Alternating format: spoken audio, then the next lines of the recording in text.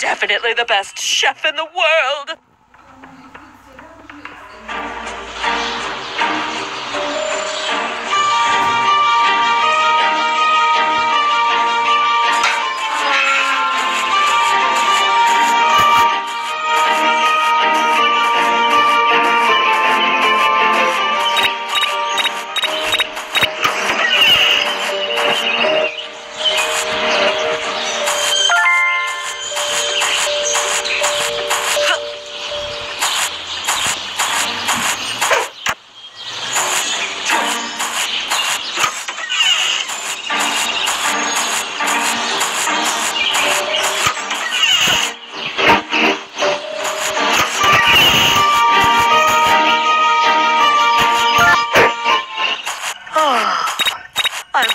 forward to having my favorite breakfast.